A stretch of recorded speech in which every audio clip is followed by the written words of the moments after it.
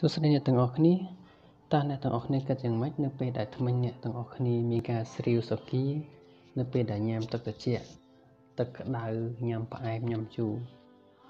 ថ្ងៃនេះខ្ញុំនឹងនាំអ្នកទាំងអស់គ្នាទៅរកដំណោះស្រាយខ្លះៗដែលអាចជួយអ្នកទាំងអស់គ្នាបានមុននឹងយើងចូលទៅកាន់ការព្យាបាលយើងគួរតែដឹងថាតើមូលហេតុអ្វីខ្លះដែលនាំឲ្យមានការស្រាវសុគីថ្មិញហ្នឹង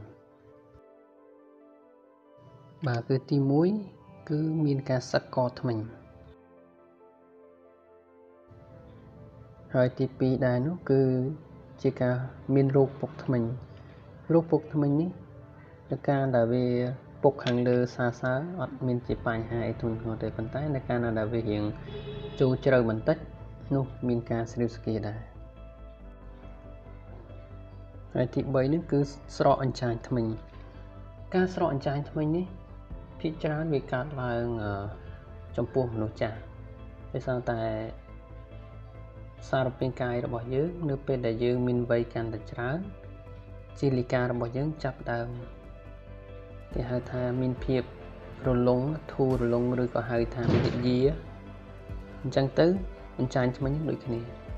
នៅពេលដែលគាត់វ័យចាស់បន្តិចអញ្ចាញថ្មីគាត់ចាប់ដើមស្រកចុះអញ្ចឹងនៅពេលដែលអញ្ចាញថ្មីគាត់ចាប់ដើមស្រកចុះវាចាប់ដើម បង្ហាញចេញនៅរឹសថ្មិញហើយតំបន់រឹសថ្មិញរបស់យើងនឹងគឺជាតំបន់ដែលដែលស្ដើងជាងគេ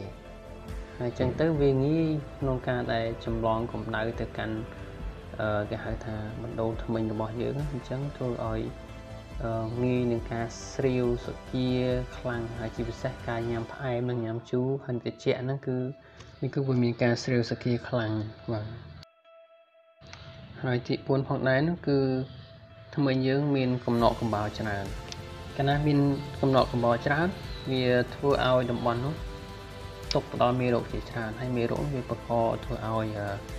អឺមានការរលាកនៅទីនោះនៅពេលការរលាកទីនោះធ្វើឲ្យអញ្ចាញថ្មីយើងចាប់ដើមហើមចាប់ដើមមានការហូរឈាមហើយអឺវាធ្វើឲ្យអញ្ចាញថ្មីរបស់យើងអត់មានលទ្ធភាពក្នុងការតែគ្របទៅលើ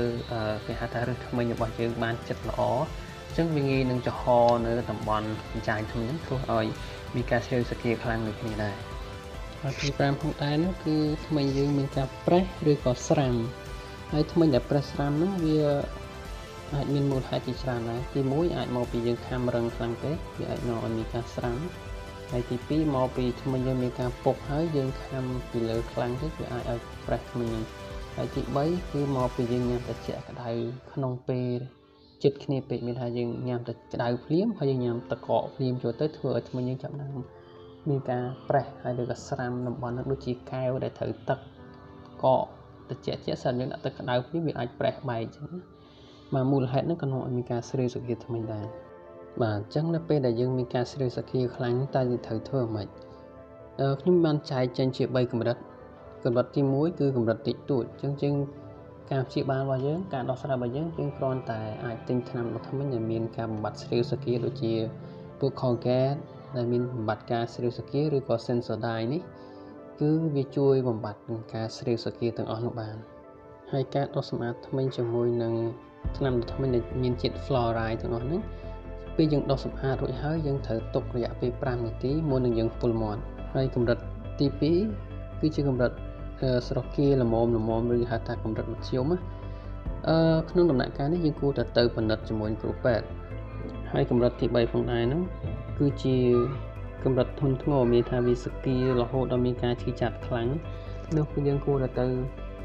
មន្ទីរពេទ្យឲ្យគ្រូពេទ្យធ្វើជួយការពិនិត្យមើលឬក៏ត្រូវធ្វើការព្យាបាលធ្ងន់ហើយអរគុណអ្នកទាំងអស់គ្នាដែលបានតាមដាននៅវីដេអូនេះហើយ សង្ឃឹមថាអ្នកទាំងអស់គ្នានឹងអាចយល់ហើយប្រសិនបើបងប្អូនអាចមានចម្ងល់អាចឆាតនៅខាងក្រោមខ្ញុំនឹងព្យាយាមឆ្លើយទៅកាន់សំណួរបងប្អូនទាំងអស់គ្នាអរគុណ